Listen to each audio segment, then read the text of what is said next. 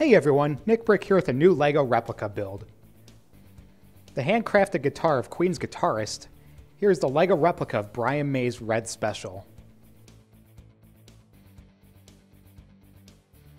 Red Special, also known as the Old Lady or the Fireplace, is one of the most recognizable guitars in rock. It was handcrafted by Brian May and his father Harold May in the 1960s, and it's still played to this day. The LEGO Red Special is built in 1 to 1 scale and built entirely with LEGO elements without glue, tape, or any non LEGO internal framework. It took about 6 weeks to design and build. This LEGO remake was built to scale with a Burns replica. This project started with lots of research, including visiting a friend of my dad's to use their Red Special replicas for reference. Lots and lots and lots of reference photos were taken, showing the scale of various components against LEGO elements. Here are just a few of them, and this last one here was for deciding what shade of red to make the body. Even though a Burns replica was used for scaling, the detailing was based on the original guitar, like the different bridge and vibrola, though I did build an unused tremolo bridge seen on the reissues. Now that we looked a bit into the research done on this project, let's get right into the detailing of this replica. First, we have the dark red guitar body. The original Red Special was constructed from an oak table with an added mahogany veneer and old mahogany fireplace mantle, giving its iconic red hue. Some LEGO fans might already know this, but dark red LEGO pieces are notorious for their poor color matching over the years. Every piece on the body should be the same shade of red, but they aren't. Usually on a dark red LEGO build, this wouldn't be ideal, but I decided to play up this quality issue to an advantage. Stacks of unmatched dark red plates simulate the wood grain texture like that of mahogany. About half of the guitar body is covered by a black pickguard, which was constructed from black tiles and wedge plates. The whole pickguard is raised one plate thick to add some depth. Even with this raised section, all the details are there, like the volume and tone knobs, the pickup on-off switches, the bridge, and the slightly inset pickups. Let's take a look at each of these details. The volume and tone knobs are actually pretty simple, composed of only four parts each. Yet, all assembled, they look pretty believable. And they can actually turn.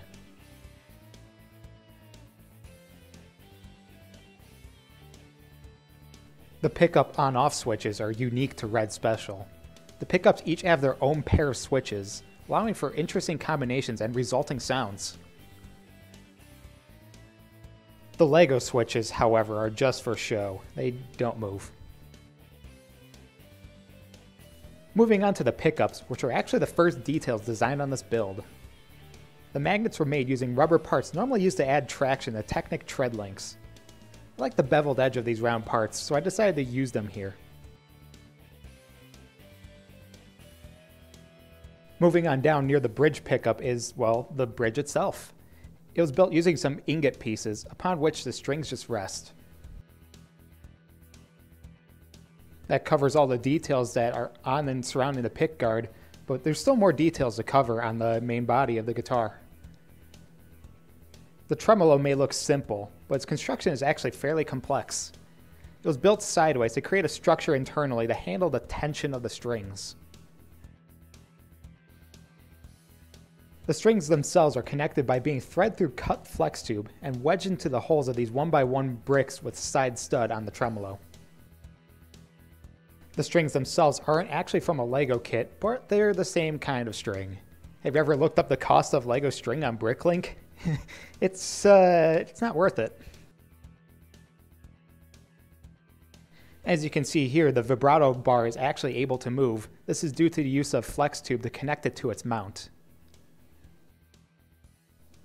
Some click hinges are used to bend the vibrato bar to the proper angles of the bar itself like on the original. There are two strap mounts on the body of the guitar built from some Technic parts. Unfortunately, they're not sturdy enough to take a guitar strap and are just purely for show. There are some more notable details on this side of the guitar body. Here we have the output jack. Also, we have the white trim built with hinge plates and tiles to keep the trim thin and matching the body shape going all the way around.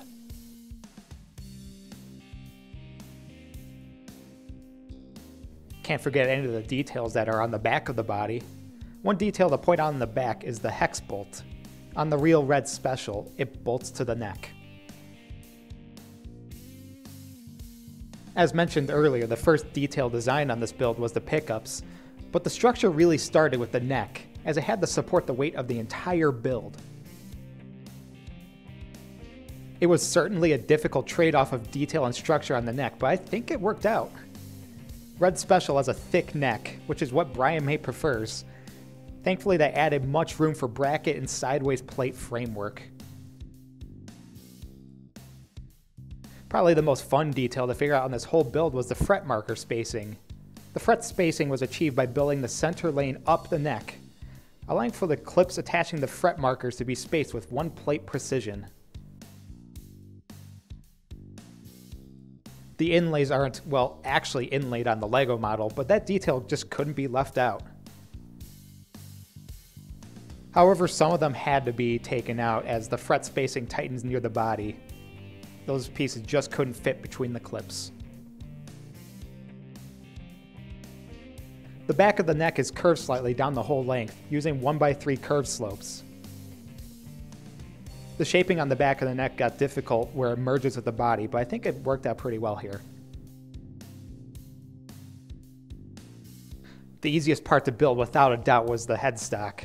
It was constructed from five layers of dark red plates, and fortunately it matched the shape of the original pretty well.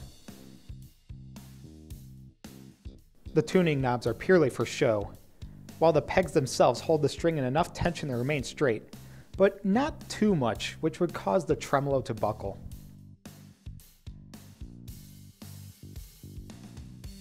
Overall, LEGO Brian May's Red Special is a tribute to Queen, one of my favorite bands. I grew up listening to them thanks to my parents. My guitarist friends love Brian May's playing. I even listened to them with my friends at Brickworld Chicago during our set drafts. There's just simply put no band like them. I admire Brian May for being both an artist and a scientist, for being a musician and an astrophysicist. I try to do that my own way, being both a LEGO artist and an engineer. Also, Red Special was built by hand, so in a way, building a LEGO replica parallels the story of the subject matter. Subscribe for more LEGO replica builds. Also, like, comment, and share if you enjoyed this LEGO replica of Brian May's Red Special.